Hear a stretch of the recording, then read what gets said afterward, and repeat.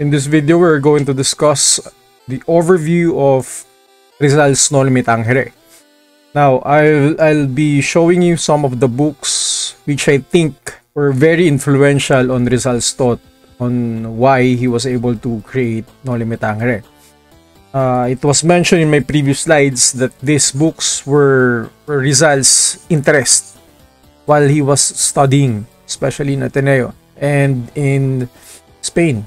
First is The Count of Monte Cristo, and the other one is William Tell. So both books try to discuss about oppression of the authority, oppression of the of the government, and then the lead characters there uh, were able to surpass such oppression and oppression by the government. The other one is Uncle Tom's Cabin, the, the the book is about slavery. So I think these are some of the books which greatly influenced Rizal's thought on why he was able to create No Limit Angere. Ang pinaka number one lang dito was The Count of Monte Cristo. It has somehow similarities. Yung paghihigante, the revenge made by the lead character, by the protagonist against those who oppressed him. So similar with Ibarra, Crisostomo Ibarra, uh, transformation of Ibarra, Crisostomo Ibarra to Simon. The name Noli Me Tangere, Noli got its name from the Gospel of John as mentioned last time. Um, it there the, there's a scene there, there's a passage there which says that um, Christ was talking to uh, Mary of Magdalene. Mary of Magdalene was attempting to touch Christ because after Christ's death, Mary Magdalene was able to see Christ.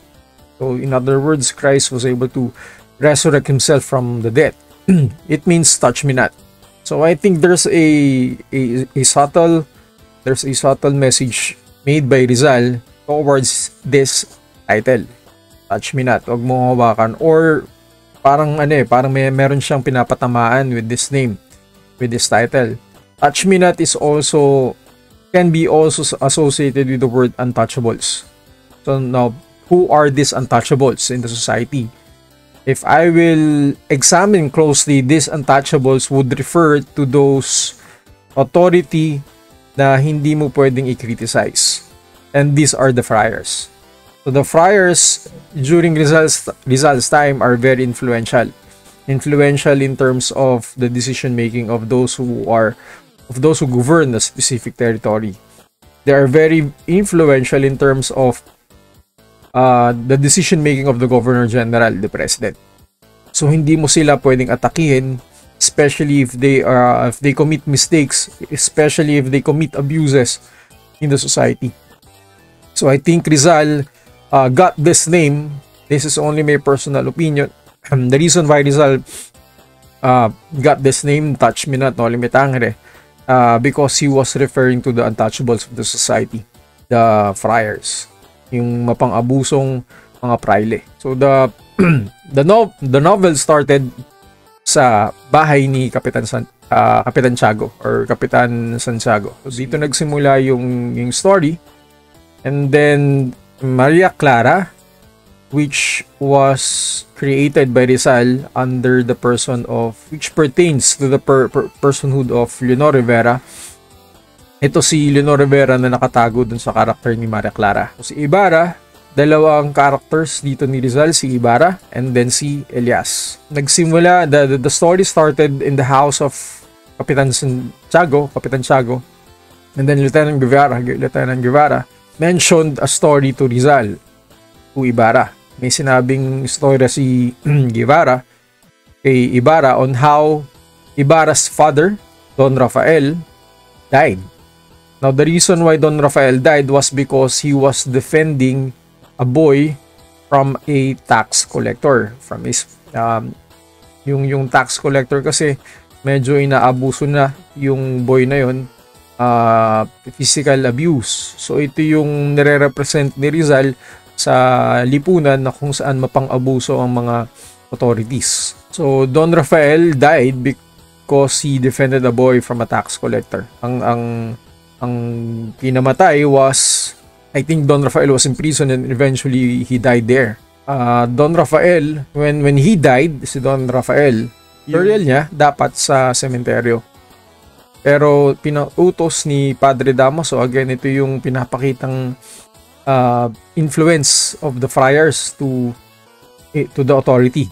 Padre Damaso changed the burial site of Don Rafael, pinatapon siya sa lake. So dito nagalit si Ibarra doon sa pag-uugali ng mga fraile. Sa kabilang side of the story, we have another character under the character of Pilosopong Tasyo. Pilosopong Tasyo, uh, andun yung word na pilosopo kasi philosophy here pertains to wisdom. So may mga kaalaman si Tasyo na hindi siya uh, mainstream sa lipunan. Si Tasyo in uh, under the personhood of Pasiano, Rizal's father. Now, according to Tasyo, pilosopong Tasyo, uh, the, the kind of education that the society is having during their time was very insignificant. It's because uh, the education during that time was very uh, was being monopolized by religion, by those who are in the religion, by the friars. That's why uh, Piloso Pontasio was also against the plan of Ibarra to create a school for the town. Kasi si Ibarra dapat ang hindi gumagastos for the school project. It has to be the the, the, the government. Asho was against Ibarra's plan with regards to Ibarra's plan to create a school project.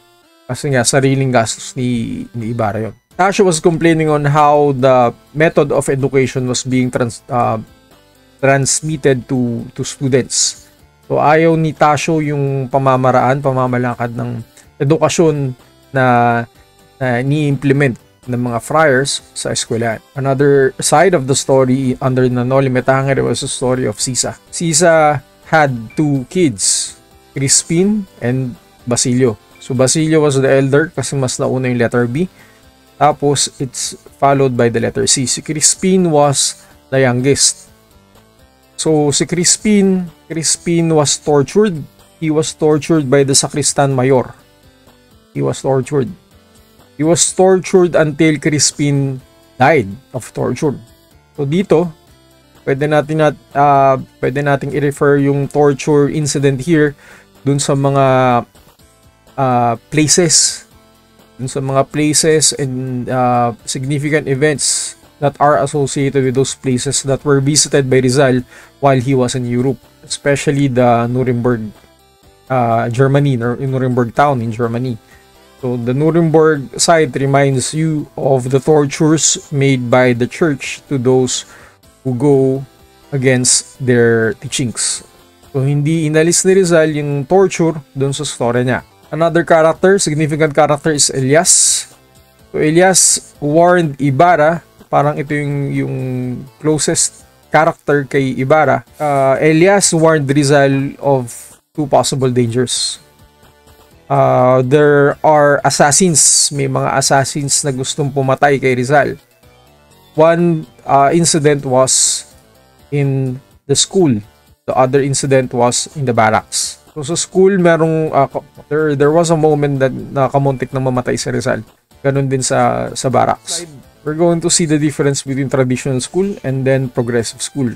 So again, the reason why I'm going to show you this one is because children, according to Philosopher Tasio, students, especially the children, are complaining. They are losing interest in their studies uh, because they're complaining on how these friars uh, would try to implement their teaching method to these kids. Kasi ang pinaka teaching method ng mga friars is may pamalo uh, they try to infuse fear and then yung memorization.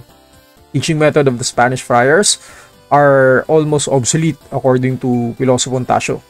So dito kung ikaw ay isang praile, medyo magiging offensive yung dating ni ng, ng novel pagdating sa'yo. Now, what's the difference between the school that uh, Pasiano wanted to implement in contrast with the school that the friars are implementing? Yung traditional school, this is the school that uh, the school that the friars would try to implement or currently implementing. Itong progressive school naman, ito yung gusto ni, Tasyo. Tasyo na implement sa eskwelahan.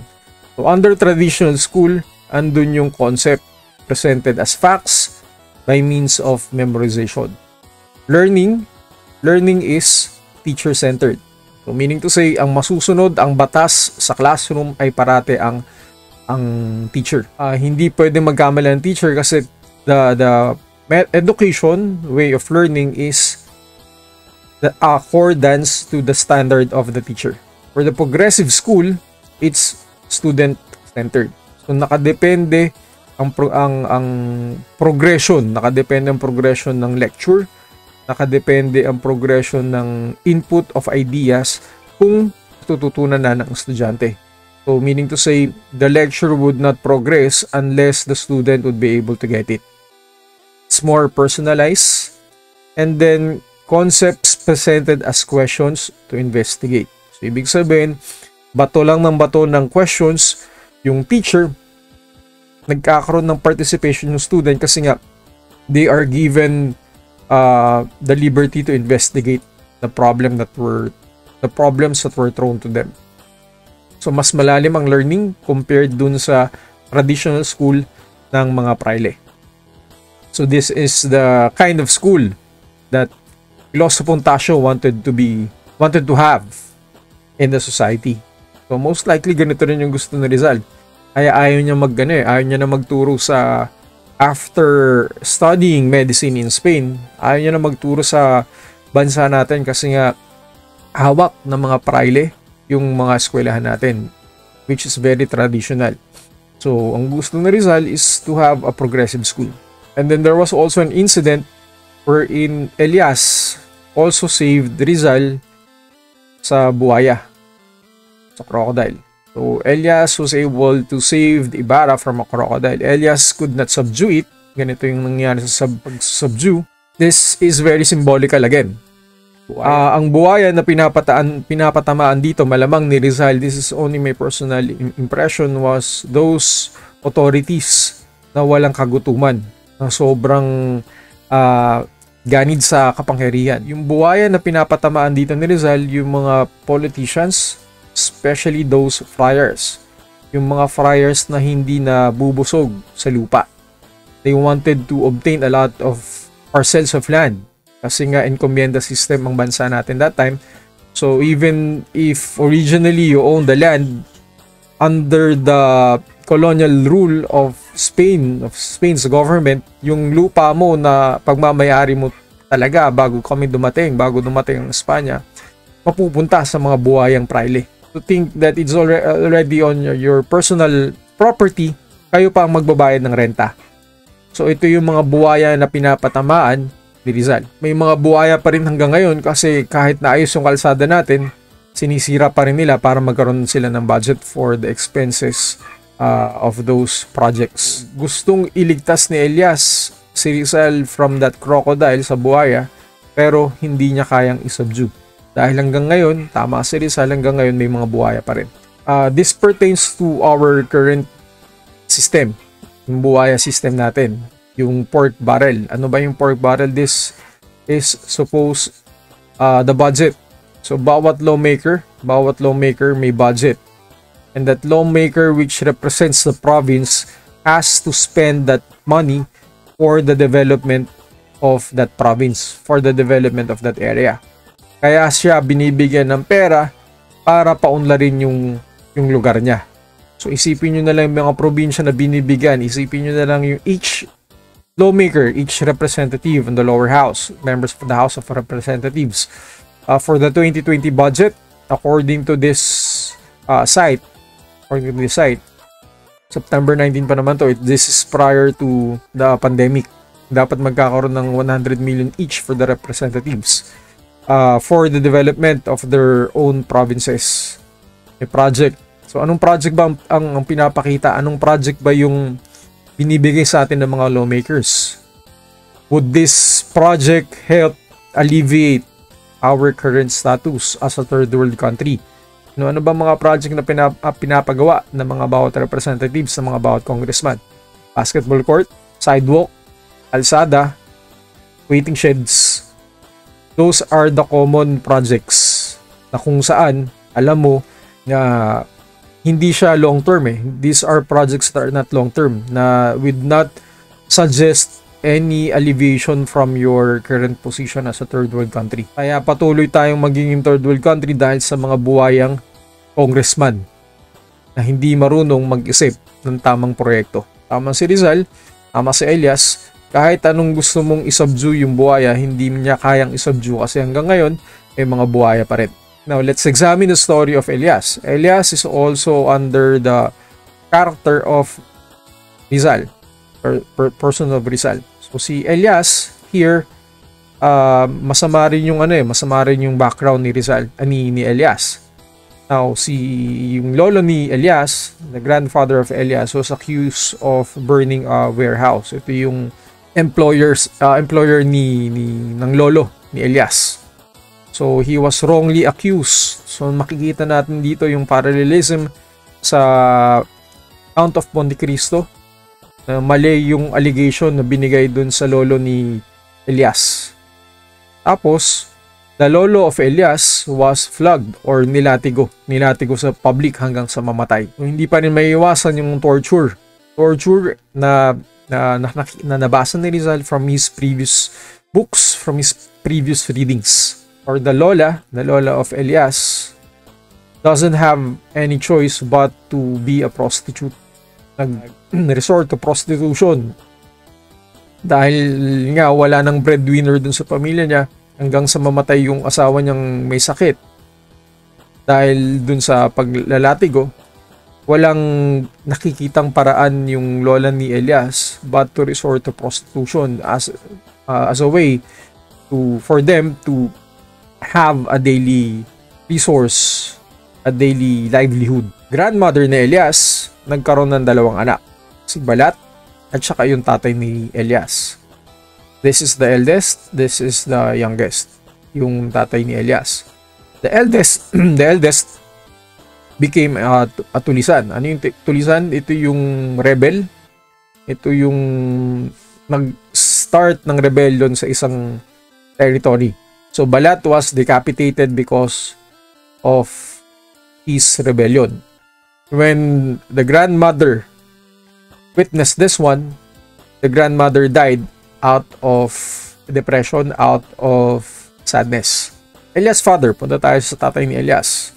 Yung tatay ni Elias, nagtrabaho para sa isang mayaman. Works for a rich man. And then that rich man has a daughter nagkaroon sila ng patagong relationship kasi nga yung tatay ni Rizal belonged not in the middle or upper class of the society kasi nga worker lang naman siya. Patago yung relationship nila. Dito natin makikita yung mga relationship ni, ni Rizal kung saan almost uh, off almost office relationships medyo are, are done are done in a stealth mode patago lahat. So yung rich man was not in favor of Elias' father. That's why yung tatay ni Elias pinadala sa kulungan. Punta tayo sa karakter ni Padre Damaso. Si Padre Damaso is represents the, the abuses of the friars in the society. So, ito yung madalas sa pinap uh, madalas na ginagawa ni Padre Damaso on his homilies. So, madalas patamaan ni Padre Damaso uh, indirectly, indirectly si Ibarra in his homilies according to Pedro o Padre Damaso, though there are men, may mga tao daw na nakapag-aral sa ibang bansa. Tapos, nag-spread ng pernicious ideas among people. When I say pernicious, it suggests dangerous ideas. These are ideas that would cause disunity among people. Ito yung way ni, Padre Damaso to influence the public. Sa isang dinner na kung saan nandun si Ibarra at saka si Padre Damaso, they were invited to eat together in, in a particular house. Hindi na iwasan ni Padre Damaso na insultihin yung tatay ni Ibarra. O, tandaan natin si Padre Damaso was the responsible person kung bakit binatapon ni Damaso ang tatay ni Ibarra na si Don Rafael sa lake. So it's a kind of disrespect dun sa tatay ni, ni Ibarra. Because of this, napuno si Ibarra And then there was an attempted murder done to Padre Damaso. And because of this, Ibarra was excommunicated. And then dahil nga sobrang influential ni Padre Damaso sa sa ibang tao, sinadjust ni Padre Damaso to break the engagement of Maria Clara to Ibarra. And another significant character of of Rizal in his no- novel ay yung mag-asawang Tiburcio at saka si Victorina, Doña Victorina. So si Tiburcio Despadanya, Espadanya was a quack physician. So ano yung quack physician? Ito yung albularyo. Si Doña Victorina represents the women of Filipino women. Uh, kasi when there was a time when Rizal was observing the women of the German uh, German women, napansin ni Rizal na exact opposite yung mga German women sa Filipino women. That's why he sent this observation to his sister Trinidad. You can still remember that slide. So dito niya siningit yung obserbasyon niya sa mga babae Pilipina at saka sa mga babaeng Germans. For Rizal, iba ang Pilipina. For Rizal, ang mga babae during his time, they are more interested on how they look physically, on how they appear to the public. Hindi sila masyadong interested on how they they can develop their way of thought, on how they can develop their education. Kumpara sa mga Germans, wala silang pakialam kung ano magiging itsura nila. So makikita natin yung similarity na yon under the character of Doña Victorina. Sobrang histrionic ni Doña Victorina. When I say histrionic, ibig sabihin nito, personality to ng isang tao na kung saan ang gusto niya, yung attention niya ay sa kanya lang.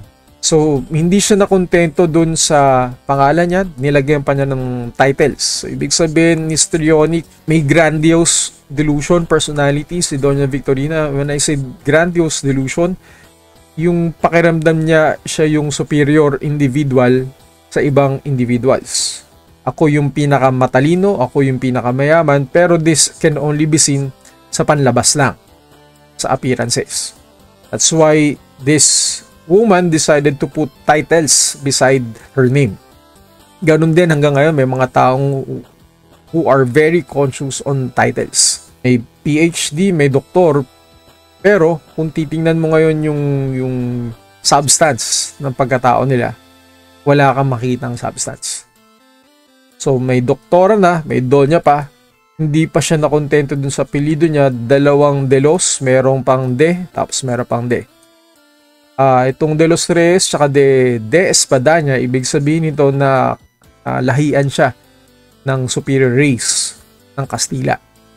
So, may grandiose delusion, superiority complex, isa siyang superior na tao, ito yung delusion niya. Histrionic, ibig sabihin gusto niya lahat ng atensyon na sa kanya. Ito yung personality na nakikita ni Rizal sa mga karamihan ng mga babae. Karamihan ng mga babaeng Pilipina during And this is the second time that Rizal or Elias had Rizal. There was an attack on the barracks.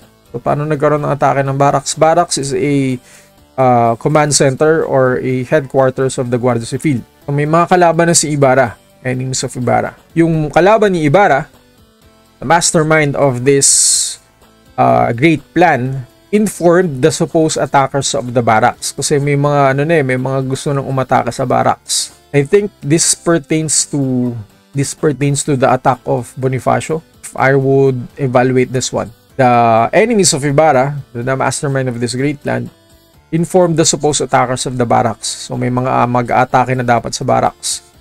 So in-inform yun ng mga kalaban ni Ibarra. Sinabi ng mga kala sinabi ng mastermind enemies of Ibarra that wait, wait for them to attack the barracks kasi ang head nila, ang leader nila is actually Ibarra.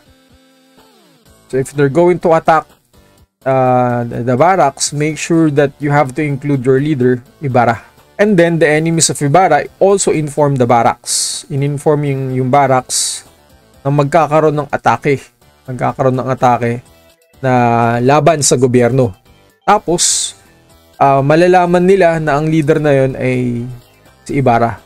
So, nung inatake na to, inatake ng mga attackers na to, yung barracks, obviously nakapagplano na to. Yung mga lieutenant, uh, ng mga guardia civil sa barracks. And then when they were captured, when they were captured, they asked kung sino yung leader.